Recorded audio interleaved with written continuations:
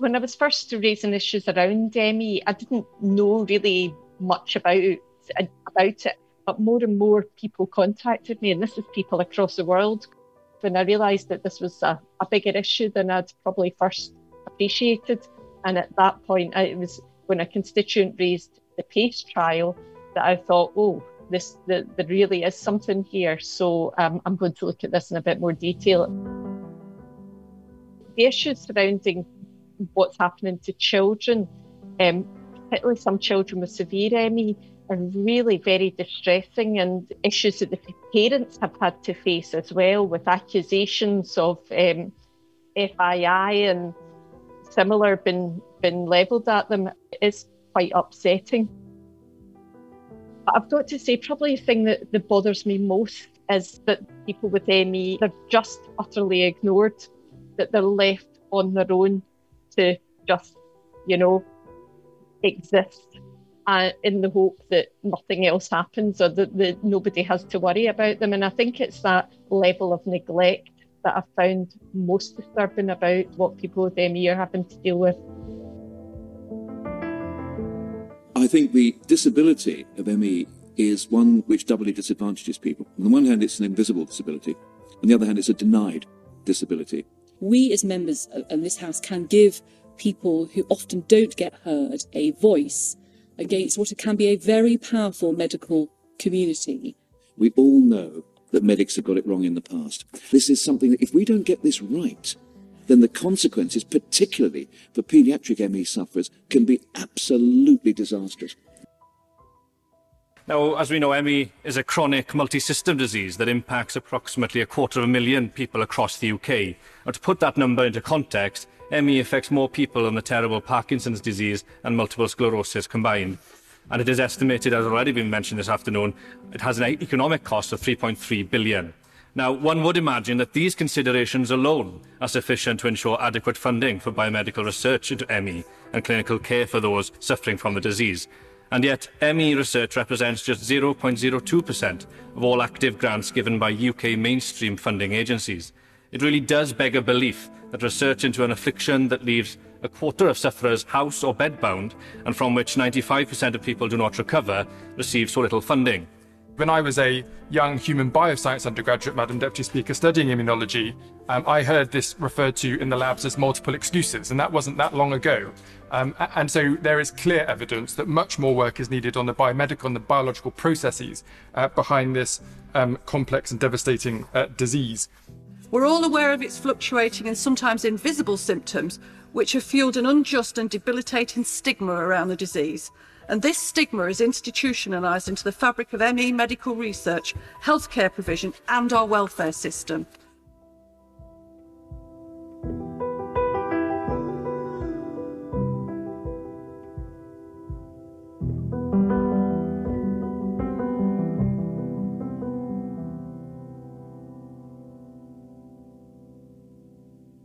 ME is an illness which has probably been around for as long as many other illnesses that we know about. Um, but it probably really only started being noticed anecdotally after the the Russian flu of the late 19th century, and then perhaps more particularly the Spanish flu of 1918 1919. But the first properly documented outbreak of an ME like illness uh, came in 1934 at the Los Angeles County Hospital in California in the United States. From then on, there are many, many other uh, outbreaks of an ME like illness in many different countries. A percentage of people suffering from these illnesses had really long term lingering consequences. So, for example, there are still some people that are sick from the Akureyri outbreak in northern Iceland that happened 70 years ago now. In 1955, there was an outbreak uh, in the Royal Free Hospital in the nurses' quarters, where a bunch of nurses all got sick at the same time. Now, that was really sort of apparently infectious, and it was considered uh, to be a neurological presenting illness. I understand I was the 234th victim, so it was fairly late on in the epidemic. They had been very certain that it had been a polio like thing, and there were residual problems because they had found that the people who had gone back on duty, quite a number were relapsing. In 1956, in The Lancet, um, uh, the name benign myalgic encephalomyelitis was suggested. A researcher had noticed that there were several outbreaks of apparently viral illness that for some percentage of people had lingering consequences. And he noticed that there was a pattern of where they found abnormalities in spinal cord fluid and brain ganglia. And he thought that it wasn't quite the same as polio. So he called it benign myalgic encephalomyelitis, meaning it was not fatal. Myalgic encephalomyelitis essentially means um, inflammation in the central nervous system associated with pain. Um, and the reason that they thought there was inflammation in the central nervous system was a small number of cerebral spinal fluid or autopsy studies. They found evidence of increased cells, uh, which we assume to be immune cells, um, uh, and inflammation in ganglia. So that was part of the reason that they wanted to use the name encephalomyelitis. Scientists in the US were studying infectious outbreaks from around the world and seeing a similar clinical picture a picture that includes easy fatigability, weakness, headaches, cognitive impairment, prolonged debility, and a greater prevalence of females. In 1959, two scientists from the U.S. National Institutes of Health and the Centers for Disease Control and Prevention published a peer reviewed paper summarizing these 23 outbreaks that occurred between the years 1934 and 1958. The outbreaks in the US in the 1980s, now referred to as MECFS, showed a similar clinical picture. And as NIH's Dr. Anthony Fauci noted in 2020, some long COVID patients are experiencing an illness that's remarkably similar to MECFS. I think it's important to know before 2005, before next generation sequencing, um, even in acute uh, meningitis, an actual causal organism was only discovered about 30% of the time. Um, so it's really difficult to learn what infection is causing a problem in the nervous system if you don't already know what you're looking for. Even if you know what you're looking for, it's still really difficult because it, the, the organism doesn't necessarily move into the peripheral blood it doesn't even necessarily move into the cerebral spinal fluid. So back in 1955, there was almost nothing they could do to figure out what was the cause. Um, and this, of course, uh, allows some people to say, well, there probably wasn't a cause then, or the, the cause was actually psychological or psychogenic. The, a term like encephalomyelitis now, um, you know, makes people think of like meningitis or encephalopathy or things like that, which are often fatal. And I think that's part of the reason that the name has been sort of confusing for a lot of medical practitioners is um, they're not thinking in terms of sort of like a lower level, um, a lower level or chronic inflammation, which seems to be more likely the case in, in these cases. Research has demonstrated that a number of patients can develop prolonged illness following an infection. A 2006 Australian study found that an estimated 9% of patients continued to show prolonged illness following both viral and non viral infections. And more recent studies, including both those with SARS CoV 1 and SARS CoV 2, have found that an estimated 10% or more of patients continue to be ill after the infection. We don't know why this is happening yet, but research has suggested a number of possible explanations. Some of these include an abnormal immune response to the infection, a persistent infection, autoimmunity triggered by the infection, and widespread neuroinflammation. But even when the preceding infection is proven, as in the case of long COVID, some believe that the continued debility of the disease is the result of behavioral or psychological factors.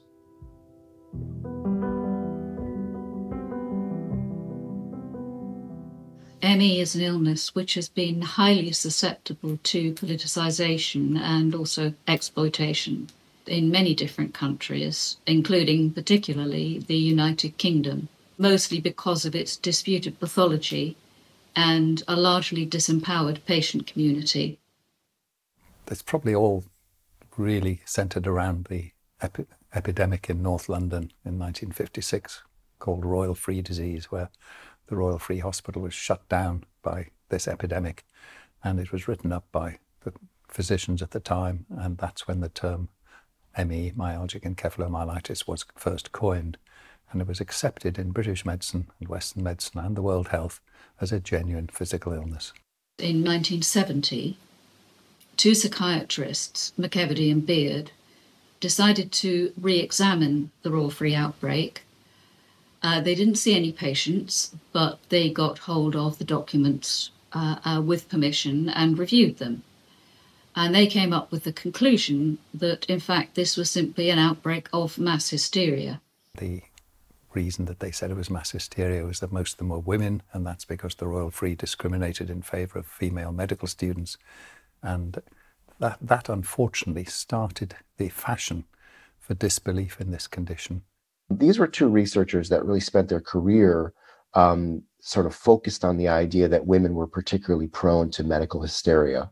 Um, and unfortunately, that sort of view of uh, myalgic encephalomyelitis has permeated uh, the field.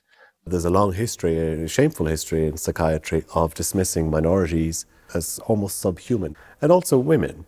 Uh, and the history of ME/CFS in particular is rooted in this notion of mass hysteria.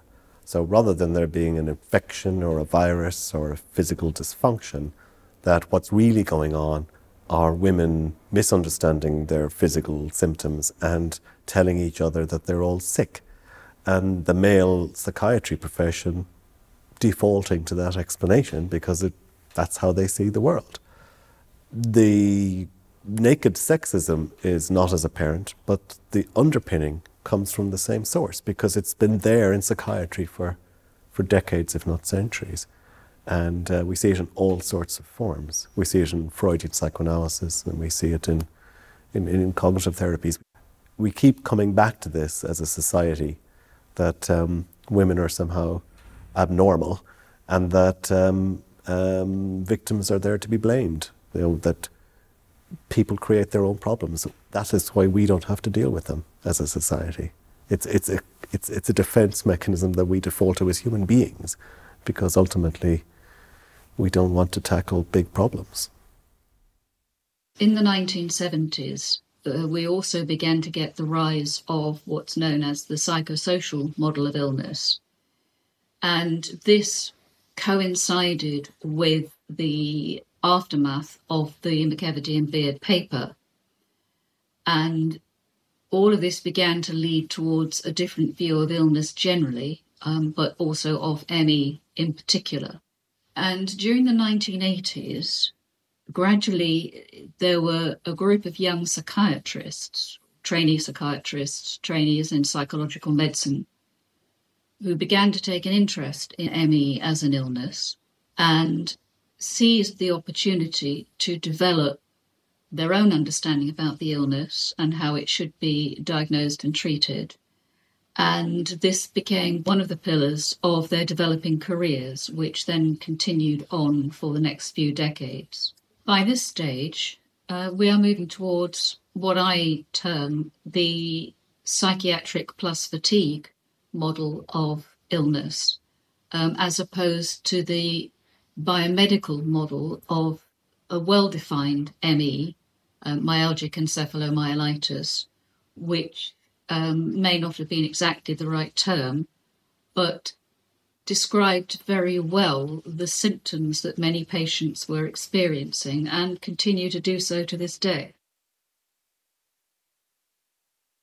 In 1984 85, in Nevada, in Incline Village, uh, there was another apparent outbreak um, and, and one nearby. This Center for Disease Control in the United States went in to investigate, but they didn't really interview patients. They only looked at medical records. And they didn't want to sort of associate it with the previous outbreaks that had been named myalgic encephalomyelitis. Some concern about tourism in Incline Village and things like that, and sort of didn't focus on it. The US outbreaks in the 1980s brought national attention to this disease. The treating doctors suspected a connection to Epstein Barr virus or some other infection. Centers for Disease Control and Prevention did a cursory two week chart review and took a few lab tests, but didn't find anything specific. To discourage assumptions about the nature of the disease, CDC coined the name chronic fatigue syndrome and in 1988 established new criteria that focused on chronic fatigue and a few specific signs and symptoms. But then within a few years, two much broader criteria were adopted UK's Oxford CFS criteria and CDC's Fukuda CFS criteria. Each of these only specifically required medically unexplained chronic fatigue. Unfortunately, these criteria are so nonspecific that they can include other conditions, including mental health disorders. The addition of fatigue changed everything completely and the name chronic fatigue syndrome was then imported into many other countries, uh, including the United Kingdom, in the late 1980s. And the problem with fatigue is it's not a specific symptom of, the, of any illness. It's a feature of, of a whole lot of different conditions. But fatigue is a perfectly normal, healthy response to any given fatiguing situation in life. There's a real problem with people really understanding what this illness is about. And in part, I think the reason is because fatigue is so common. One out of four people has fatigue any particular day. So most people who have fatigue say, well, I have it and I get on with my work. Why can't they work? Why are they complaining? So there's a major disconnect between such a common symptom of fatigue and the symptoms of individuals with this debilitating serious illness. And that is a chasm that needs to be breached. ME is not about fatigue. It is not a, a, direct symptom of the illness, although there are many, many different sets of criteria for ME, and fatigue does appear in quite a lot of them. It is not a helpful one, and in my own experience, it's not an appropriate one, but also in my own experience, particularly early on in the illness, it is very difficult to describe the way that you feel and saying that you feel exhausted, very tired, that kind of language is the only language that is available. So, of course, it has become subsumed into the culture of ME as an illness and how to describe it. Adding fatigue and making it, in many cases, a prime symptom of diagnosis has the effect of widening, massively widening, and diluting the patient cohort of people with some kind of similar looking illness.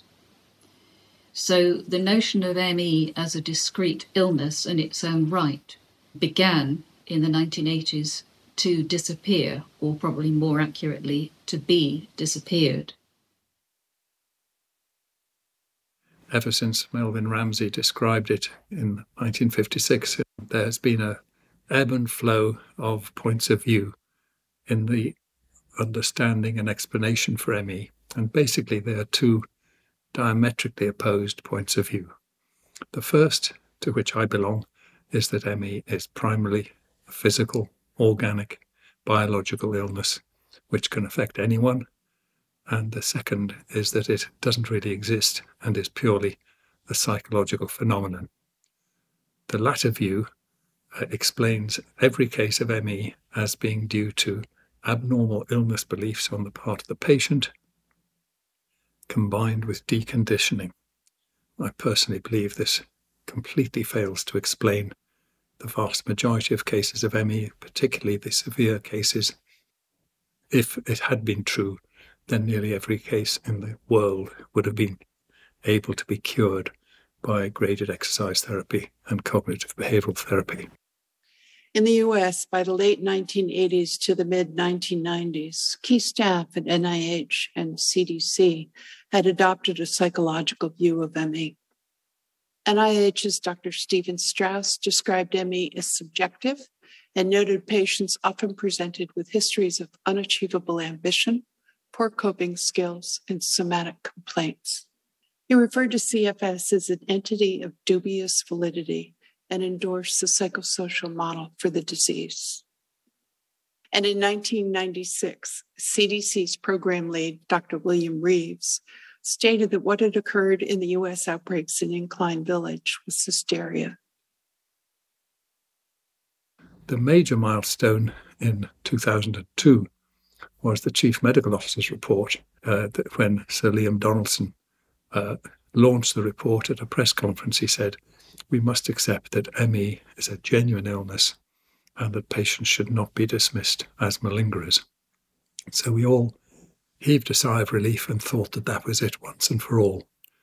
The trouble with that is that um, people on both sides of the fence still weren't quite happy. The psychiatrists refused to sign up to it because it they objected to the report stressing the organic nature of ME, and the some of the patient charities uh, saw the problem that the CMO's report did endorse graded exercise therapy and uh, cognitive behavioral therapy. Exactly the same thing happened. NICE guidelines in 2007 endorsed graded exercise and cognitive behavioral therapy, although they stressed it should only be on the basis of informed consent by the patients. The view that ME is a psychological disease was firmly rejected by the U.S. Institute of Medicine, which published a report on this disease in 2015. That report included an extensive review of the evidence of biological impairment, and it also established new criteria for clinical use requiring post exertional malaise. Shortly after this, CDC adopted these new criteria and replaced recommendations for cognitive behavioral therapy and graded exercise therapy with pacing in order to manage post exertional malaise. And yet, the view that psychological and behavioral problems are driving the prolonged debility of this disease has continued. As a result, patients are experiencing disbelief from their doctors. Tragically, we're seeing the same thing unfold with long COVID patients who are not only experiencing similar symptoms, but are experiencing similar dismissal from their doctors. Professor Anthony Komaroff at Harvard University, a world expert on ME/CFS, explains that a large literature now describes multiple biological abnormalities in ME/CFS. These abnormalities, he says, all converge on and can affect the brain. Firstly, there are anatomic, physiologic, and electrical abnormalities in the brain. Secondly, various elements of the immune system are chronically activated, and in some people, those elements are exhausted. This includes neuroinflammation and also evidence of autoimmunity. Thirdly, there is evidence of impaired energy metabolism. Fourthly, the autonomic nervous system is dysregulated, one consequence of which appears to be impaired blood flow to the brain. Fifthly, there are characteristic abnormalities of the gut microbiome.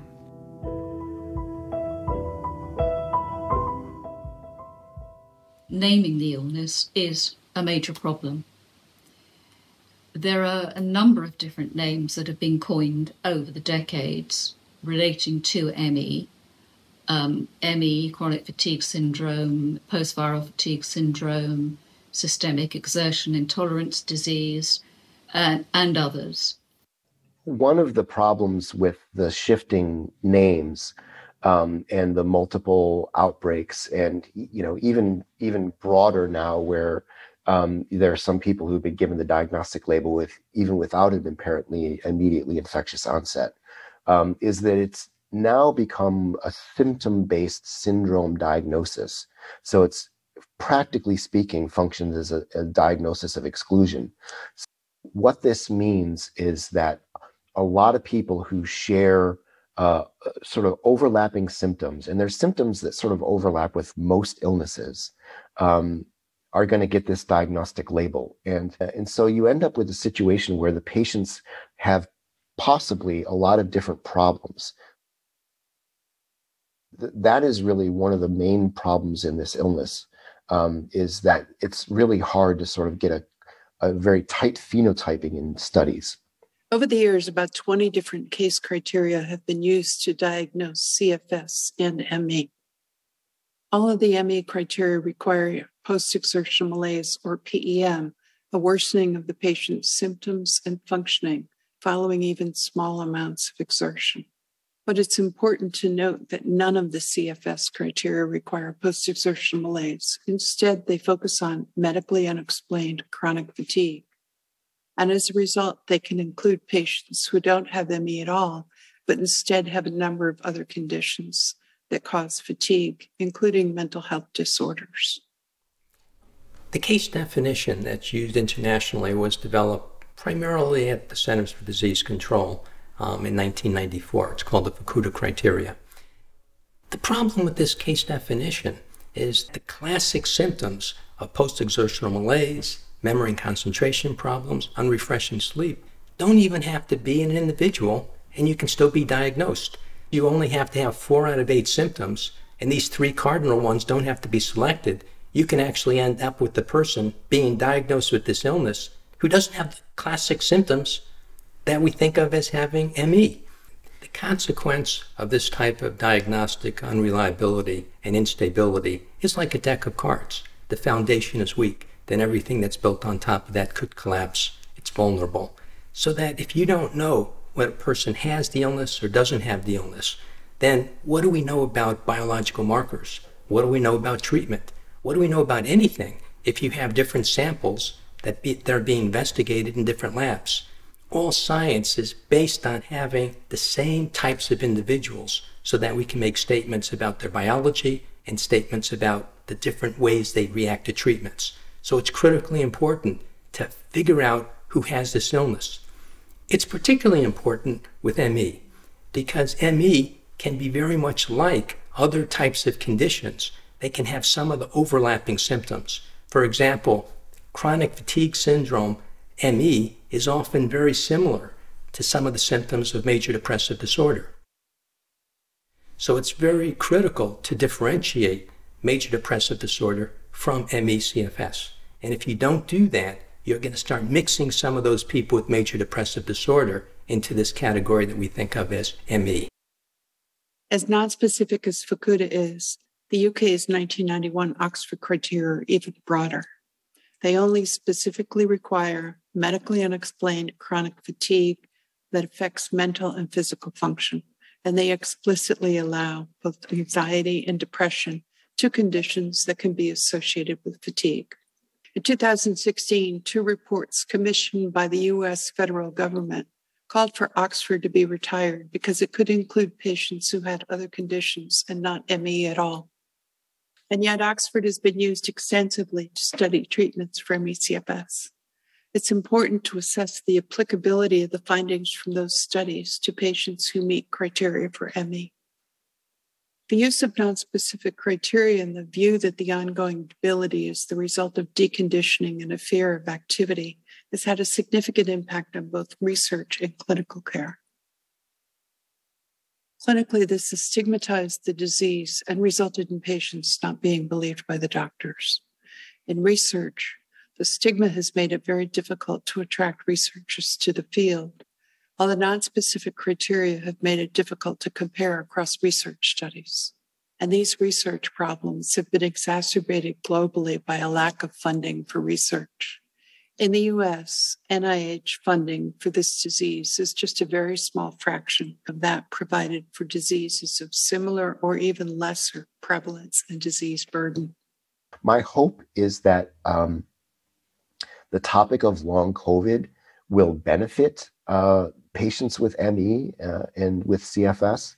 Um, uh, so the concern, of course, is that people are going to replicate the mistakes that have been made before just with long COVID. Going, they're going to be really focused on coping strategies and things like that um, instead of doing serious biomedical research into how viruses can uh, hijack uh, host metabolism and cause dysbiosis and uh, you know cause problems in nerves and things like that. So resources is really the key um, to getting re- researchers uh, to stay involved in the field. Because if there's not a lot of funding to do the research it just doesn't make any sense to work on the topic because you literally can't pay your rent. In my experience biomedical researchers are very interested in the topic of me uh, and in cfs um, you know i'm sort of lucky where i'm surrounded by a lot of really good researchers but many researchers have had a difficult time.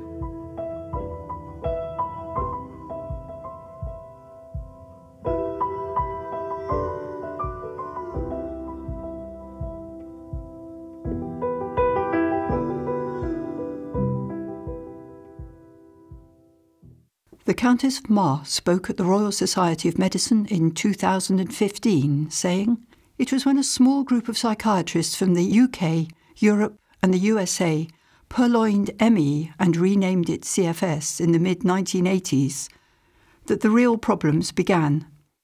They insisted that it was a psychosocial behavioural problem that could readily be overcome with a course of cognitive behavioural therapy and graded exercise.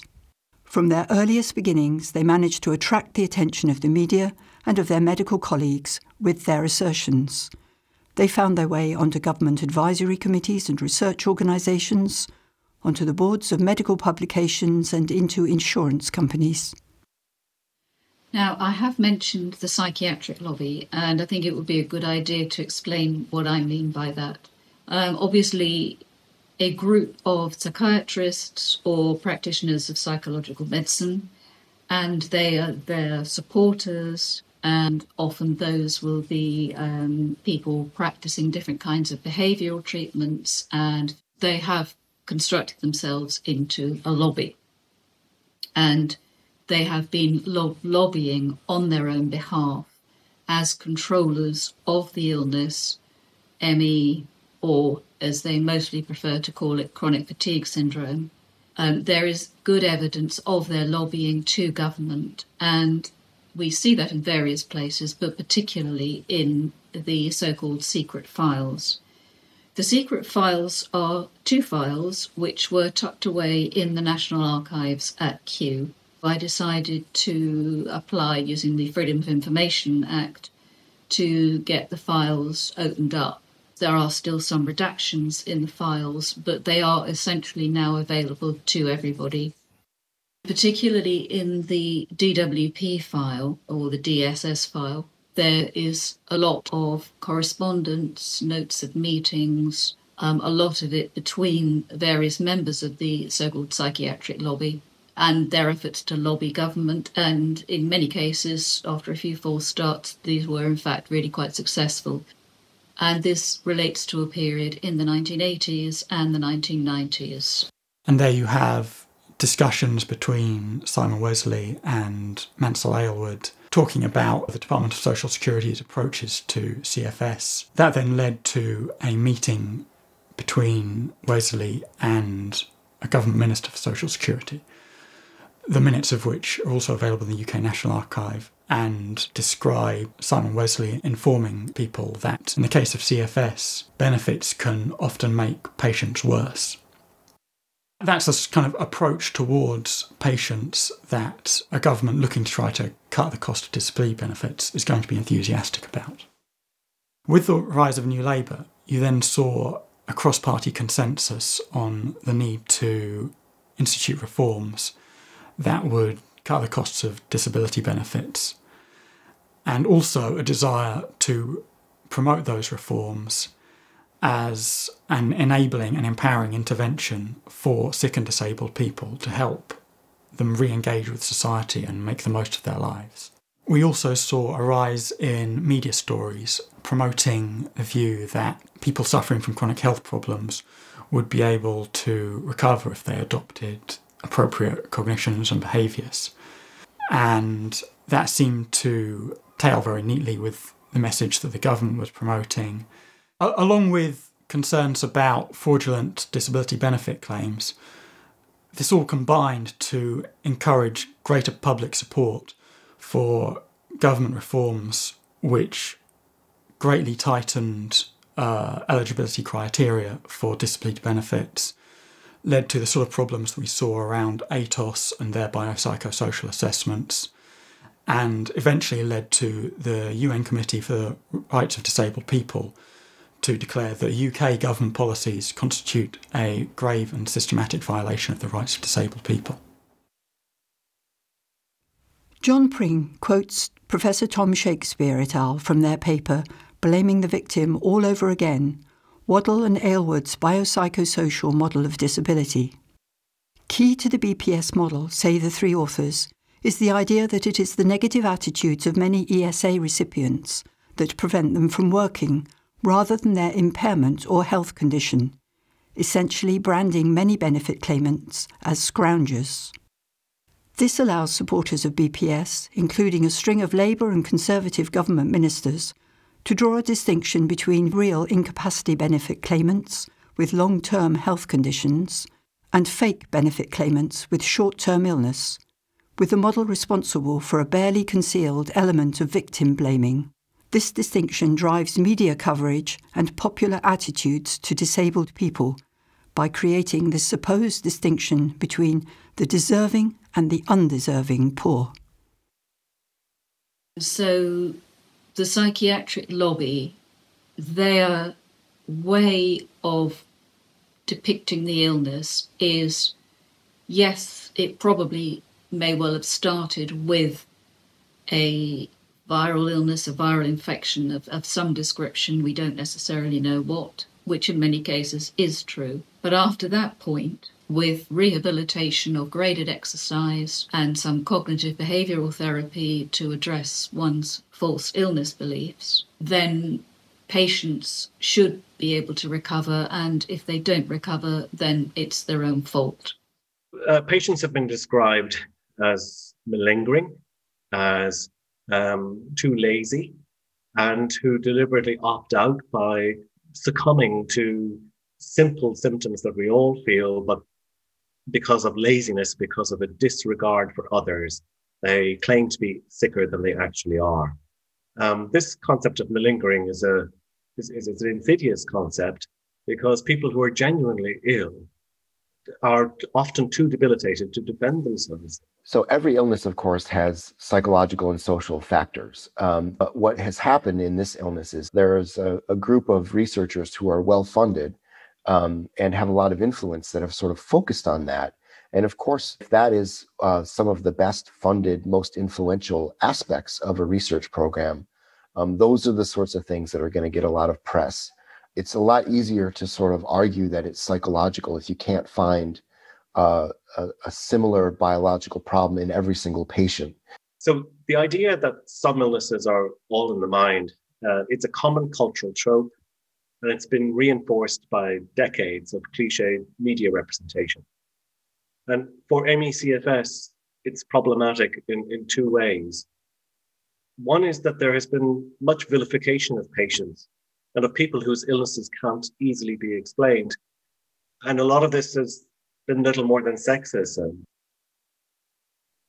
Secondly, uh, those figures in clinical practice who wish to promote psychological therapies for ME/CFS have actively engaged with professional media companies to publish statements and to place articles in the press to defend what is essentially very weak research against legitimate criticism and to blame patients for being unruly and unappreciative.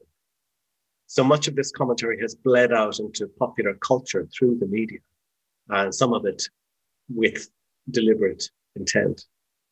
So, this psychiatric lobby became increasingly powerful, really, in the absence of any kind of robust response.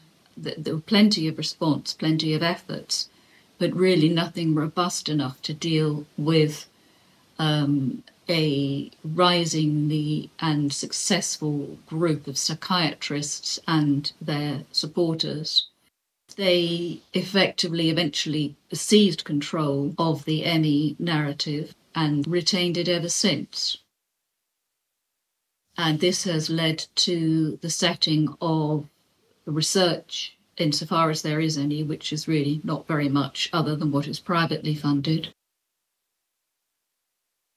in 2007, the National Institute for Health and Care Excellence, NICE, produced a guideline for CFS-ME recommending graded exercise therapy and cognitive behaviour therapy based on limited evidence, claiming these were the interventions for which there is the clearest research evidence of benefit.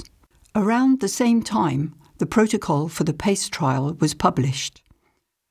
The PACE trial cost £5 million and remains the largest and most expensive ME/CFS research project ever undertaken. It was clear that it was expected to provide evidence in support of the NICE guidelines endorsement of GET and CBT. It's interesting that, in, fact, I raised this in Parliament during the first PACE um, trial debate that this trial, the PACE trial, was unusual, that it was partly funded by the DWP. And I think that that raises lots of questions about about the trial and really the, the reason purpose behind it. Um, it's easy if you can write somebody off as um, capable or consider someone capable who is actually struggling. Um, you can save yourself an awful lot of money in terms of um, paying out on social security and benefits. So, um, so it's quite. I, I have I have real concerns about the link between the, the PACE trial, its impact on the ME community, and how it's been used for some people um, whenever they try and access benefits. So the PACE trial, clearly a trial that the proponents of psychological therapies uh, turn to and cite again and again. And it's often described as having demonstrated that patients recovered, not just improved, but recovered uh, from ME/CFS as a result of cognitive behavior therapy and GET. But when the data set was reanalyzed independently by independent researchers who had nothing to do with the trial, it was discovered that the finding was not as clear cut as originally reported. And in fact, because of statistical, I suppose, decisions made by the research team originally, the published findings were greatly inflated. And the reanalysis showed that the improvements seen were little more than random changes from pre-test to post-test. The treatment groups did no better than the control groups. And the PACE trial did not actually demonstrate that CBT and GET were beneficial at all. And the bottom line is that this trial just doesn't come up to the basic standards that we require for uh, reliable evidence, certainly not in clinical pharmacology. Uh, they've used an unblinded approach with subjective endpoints, and that is just too uh, um, open to bias uh, from subjectivity. In fact, the situation is an awful lot worse than it is in almost any other situation because the, the treatments, uh, CBT and GET, deliberately encourage patients to say they are better. And so the fact that they say they are better really tells us nothing at all. Grave concerns about the quality of the PACE trial and its results were raised by independent researchers and patients. Data from the trial was held by Queen Mary University of London. In 2016, following a protracted process during which Queen Mary spent nearly £250,000 on legal fees in resisting release of the data, an Information Rights Tribunal ordered Queen Mary to release some of the trial data to Alan Matthees, the patient who had requested it. Researchers then subjected the data to independent analysis. Many of the proponents of psychological treatments for ME/CFS are themselves heavily invested in long careers promoting cognitive behavior therapy and psychological treatments for a variety of conditions. And we know that in science and in research, a conflict of interest can arise where people have an allegiance to a particular therapeutic approach we call this therapeutic allegiance. Uh, and it's worth remembering that the PACE trial and these studies around the PACE trial and similar to the PACE trial have never been replicated by independent researchers. They all tend to be conducted by the same community of like minded and mutually collaborative uh, research teams. In fact, when independent researchers do get involved, the effect is most commonly to debunk the original study. There was a lot of people reacting against the PACE study, so um, another friend, Janelle Wiley, and I volunteered to put all their ideas together in a detailed analysis of what was wrong. And we tried to get in touch with the editor of The Lancet. We tried to get in touch with one of the authors of the PACE trial, and they just ignored us. So then we tried journalists, MPs, you name it. We had a long list of people to try, both here and in America. They all ignored us. what really shocked me more than anything, not that the PACE trial was so bad. I mean, that was a big shock. Make, make no mistake, it was so bad it really shocked me. But the fact that we couldn't get anybody interested. And you think, you've got a quarter of a million people ill with this disease. You've got five million pounds on, on this enormous study, and it's so bad, and you're not interested? For many years, patients have requested a review of the 2007 NICE guideline. The recommended treatments of GET and CBT were causing patients to deteriorate. The underlying cognitive behavioural model of ME/CFS was clearly wrong. Finally, in 2020, when NICE reassessed the evidence for GET and CBT, the evidence from the PACE trial which had been widely misrepresented by the authors and by the media, was graded as very low or low quality. After long delays and a last minute hiatus caused by some royal colleges who refused to accept the work done by NICE, the revised guideline has been published in October 2021.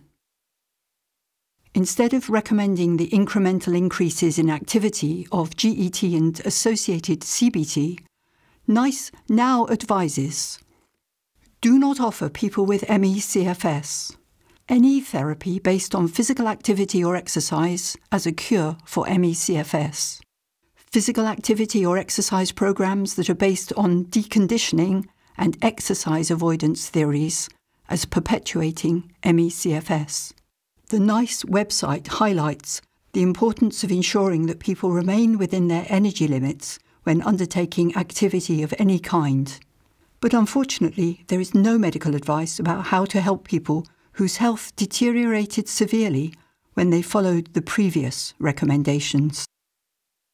It's not just medical support that is often lacking, and many people struggle to access welfare support, benefits, disability living allowance, there's also issues amongst with people with um, ME accessing private health insurance that will write them off as not actually having having anything wrong with them.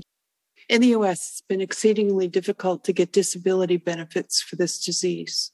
A few years ago, the Social Security Administration, the federal agency that covers disability benefits for most Americans, reported that only 13,000 Americans were getting disability benefits from ME/CFS.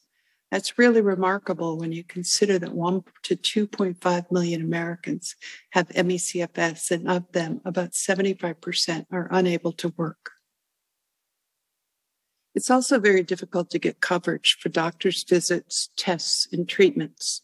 Because of the complexity of the disease, doctors often have long visits with patients. But at least in the US, insurance companies typically don't reimburse for the amount of time doctors actually spend. And insurance companies often will not pay for important tests and treatments because they view them as experimental because of the lack of research. So the, the benefit system, especially since 2008, has been based on what's been called what they call a biopsychosocial model of disability, the way that ME has been portrayed and this biopsychosocial model that was informing the welfare reforms were very interconnected. The work capability assessment deliberately seems to be um, eliminating issues of, of fatigue and pain and post exertional malaise that people with ME have. Assessors aren't even allowed to assess people with ME for cognitive, mental, or intellectual uh, function. One of the biggest barriers that people with ME face to work is that you have multiple problems across cognitive, physical function, sensory problems, and very often people are scored no points at all or put in the so-called work-related activity group because the system doesn't allow for to score for the cumulative impact of multiple or generalized impairment. There is no objective biomarker or scan that can show the level of impairment that people have. It's purely reliant on people's subjective reports. And people's own reports of their symptoms are discredited because under the cognitive behavioral model we have supposedly have irrational fears and flawed beliefs. And therefore we're seen as not credible witnesses. Often people with severe ME have disengaged from the medical system completely because they've been faced with disbelief denial or harmful treatments that have made them worse, or they're housebound and, and their GP just won't come out and see them. So you very often have the most severely affected people who are completely off the radar of the healthcare system and can't call on a GP to provide medical evidence. There are possibly even more problems with the social care system in terms of ME than with the benefit system. So, ME, as we know from the, the research on health related quality of life, um, scores at the lowest of all chronic health conditions for quality of life and kind of functional loss. And in the survey that I did with Action for ME, over 90% reported levels of difficulty in day to day life and need for support that were indicated by the Care Act that they possibly qualified under the Care Act for social care support. And yet, only 6% of respondents to our survey had a social care package. There's so much misinformation about ME, what we could call the cognitive behavioural model of ME. That's causing ME to be seen as a, at best, as a lightweight disease, or even worse, as a disease that's almost self inflicted. And the idea that you would actually provide care and support to somebody could be seen as well you know if if it's caused by fear and activity avoidance surely providing a care package is going to is going to perpetuate that disability as opposed to alleviate it so you've got that very fundamental problem that we have this um, misinformation about ME in the healthcare system. So the impact of being disbelieved is personally very devastating and very damaging and undermining to people's mental health, no matter who you are. Now, people with ME/CFS already have a very distressing illness. So to patronize them or to ridicule them or to disbelieve them, either directly in a clinical setting or through the media, is, is especially cruel. Most patients with ME/CFS are far too debilitated to engage in any kind of campaigning or any kind of public criticism of their doctors or of researchers. This is the ironic thing. I mean, this idea of us being activists. Activists, we take hours to produce a little bit of writing. Um, I mean, Alan Matthees, who pushed PACE to release its data, um, he is now incredibly ill. He is in very serious state, bedbound. Bob's health deteriorated a lot after all this work on PACE. A lot of the people in the group, their health I can't say their health suffered because of it, because obviously you can't prove that, but a lot of them, their health has deteriorated since, because it takes a lot of energy to do this sort of thing.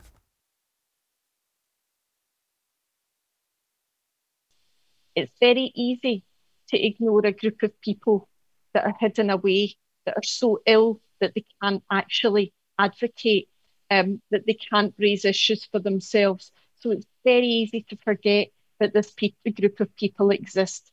And I think there are many people that have relied on the, the difficulties that people with ME have in interacting um, or, uh, because of their illness that have allowed them to be ignored. And I don't think that's good enough. Shouldn't need patient to say, I need a change to this. And it shouldn't need patients to be, it, uh, raise it. it. Health professionals themselves should be accepting that there is an issue that has to be dealt with and has to be tackled.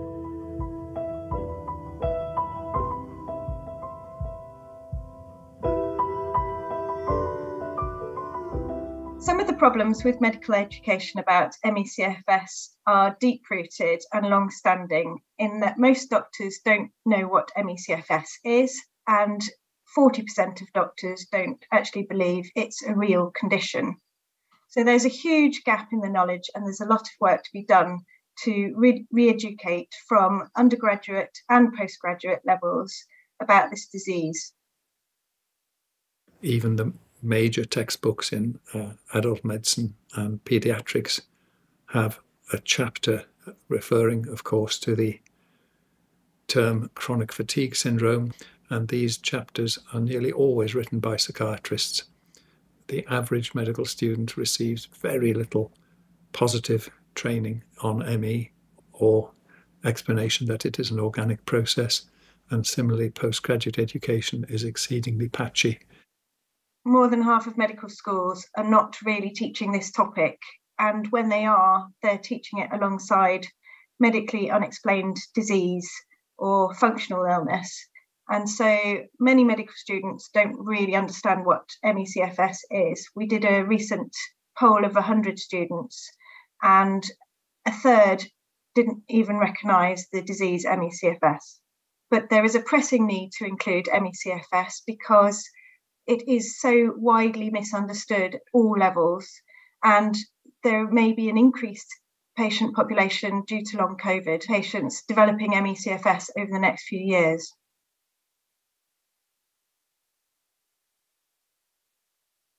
It's not just about educating medical students. Students are in school for a relatively short period of time, but doctors are in practice for decades, treating patients. So it's even more essential that doctors who are already in practice are educated about ME. When we looked at a small survey of GPs, the only GPs who knew most about the condition were those who actually knew a person with ME/CFS outside work. And some of the confident GPs actually scored quite badly on the knowledge front. They were very confident at telling the patient that it was all in their heads. We need the major medical associations to encourage their members to learn about ME. To date, that hasn't happened. The tsunami of long COVID patients, some of whom may develop ME, create an urgent demand to get the attention of medical associations as quickly as possible.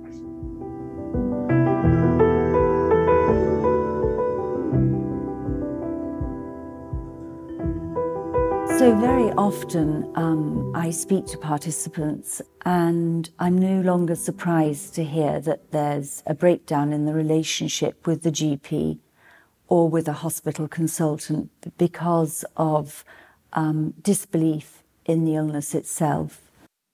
More often than not in my clinic, I have encountered patients with ME who have been written off by healthcare providers as having no real disease or certainly something that the healthcare provider could not help them with.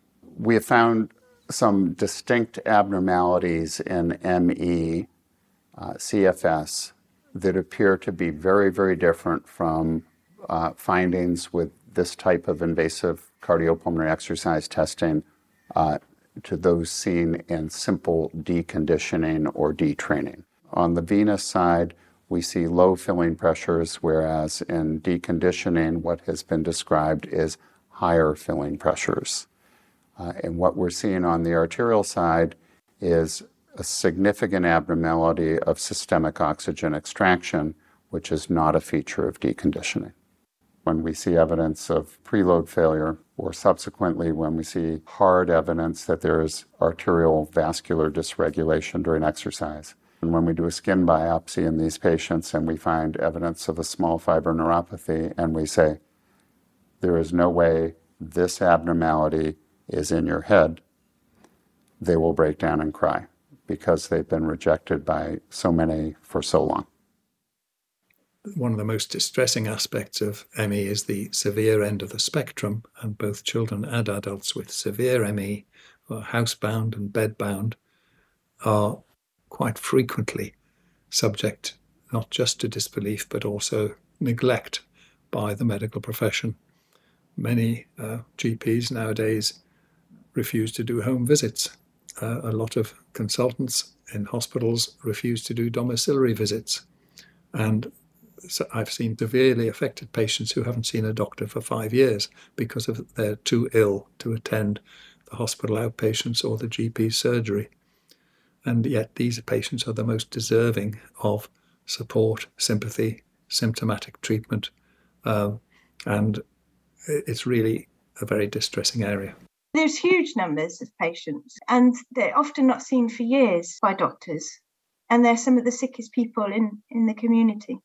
And it puts a great burden on family members who are, tend to spend years just in an unpaid carer role.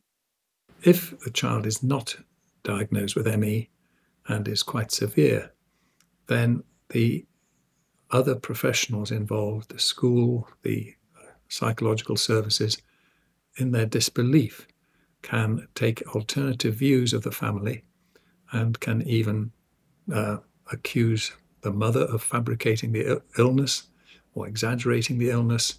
And th- these proceedings often result in the family being threatened with safeguarding proceedings and having case conferences. I personally have been involved in 60 or 70 families who've been officially subjected to case conferences for safeguarding purposes. Fortunately, very few of them actually end up with a child being re- removed, but the underlying stress and uh, stigma attached to these proceedings is very damaging for families. And in the case of adults, there is sometimes a risk of forced admission to a psychiatric institution and then the patient being subjected to inappropriate regimes as an inpatient in a psychiatric hospital. And sometimes the results of those admissions can be fatal.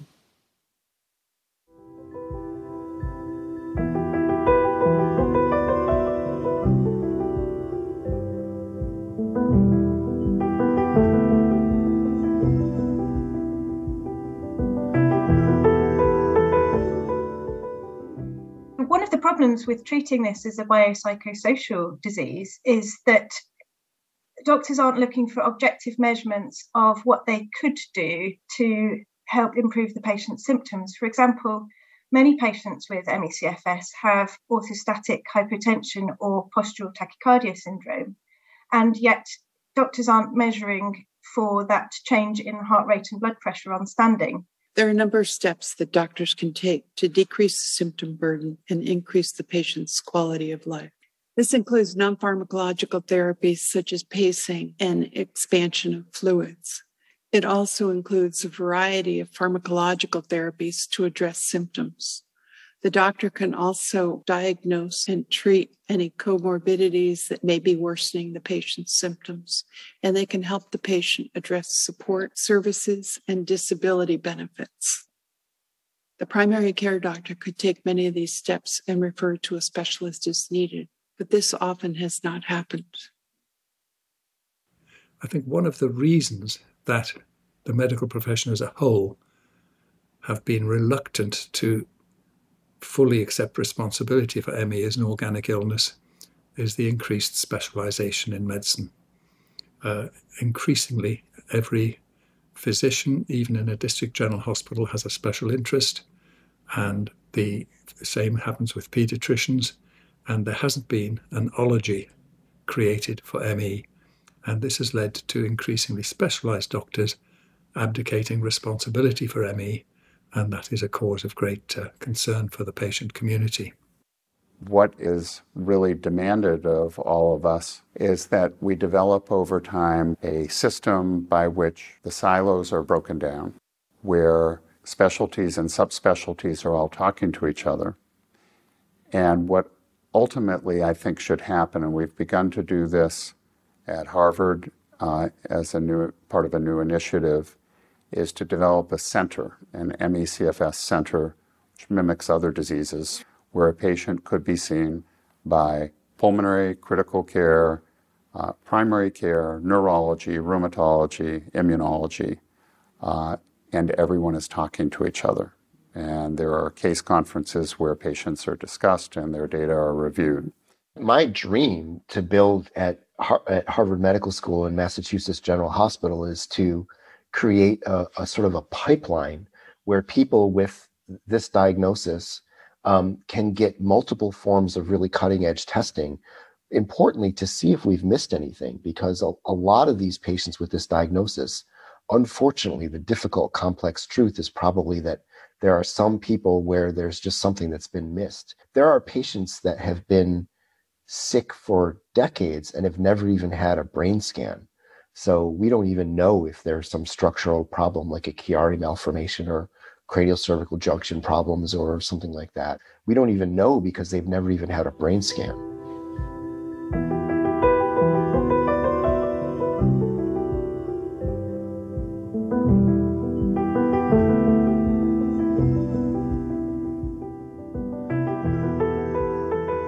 The situation is grave there are individuals who have the most significant medical problems and they are being treated poorly for the most part. Many individuals have given up. Many individuals have basically felt that their healthcare system, their governments have abandoned them. These are individuals who are stigmatized, alienated. They've had the trauma of an illness and then the trauma of the healthcare system and often family members as well as coworkers who don't get it because there's so much stigma against this illness. We have to change this. People need to stop denigrating ME and dismissing it as something that just makes people a little bit tired. People die with and of ME. I am sick of attending funerals and inquests into people who have died because of ME. And it is time that this illness was given the respect it needs and money put into research. We will look back with hindsight on what's being done to particularly to young people with ME with absolute horror because it is abuse. I do think that the neglect and lack of belief and lack of proper research has allowed harm to continue for a long time. By not dealing with this properly and by not addressing it, we have caused extreme harm to many thousands of people over many, many decades. And unless we get this right, and unless we make changes, we're going to continue causing the same abuse to many people.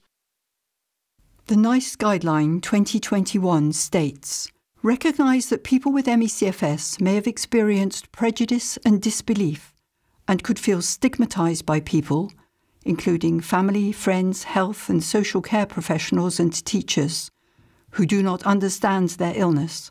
Take into account the impact this may have on a child, young person, or adult with ME/CFS. That people with ME/CFS may have lost trust in health and social care services and be hesitant about involving them. The final draft version of this guideline acknowledges that there is no test, no treatment, and no cure for ME. Now, that is a shocking admission for an illness which has been with us for nearly a hundred years. One of the things that most concerns me is the self perpetuating nature of bad science, especially the way vulnerable members of society are left by the wayside in order to preserve reputations and status of influential clinicians and cliques. But over the years, today, much bad science happens precisely because of power structure within science and within academia, where power structures seek to preserve themselves and people put themselves beyond criticism and authority is used as a tool rather than something that needs to be avoided. It's not the patients who are engaging in faulty reasoning here. The biopsychosocial theory of ME/CFS is essentially a grand delusion, kind of a sanctimonious shared belief shared by a professional clique who, for little more than circumstantial reasons, find themselves dominant in British, especially behavioral medicine. One can only conclude that human attachments to ideas learned in youth are hard to shake. Physicist Max Planck once said that scientific ideas are changed not by acceptance of rational evidence, but by the passing of generations. Many mental health professionals trained in the 1980s and earlier will continue to feel allegiance to the BPS model, no matter how outdated it becomes. Those in coming generations will forget about it. In the UK, we have a number of high profile cases which have become well established examples of systemic injustice. Windrush, thalidomide, the infected blood products, Hillsborough, Stephen Lawrence, and all of these cases have become accepted as examples of massive institutional failure. My argument is that the treatment of ME patients is in a broadly similar category to all of those examples However, ME predates all of those cases. Millions of ME patients have died over many years and are continuing to die without proper recognition or treatment. And therefore, that definitely amounts to a case of fundamental systemic injustice and potentially institutional abuse, given the length of time that it has carried on. Of course, the politics of health is complex and nuanced and there are many, many competing interests. But ME has been at the bottom of that pile of interests for many, many decades, and it's time that changed.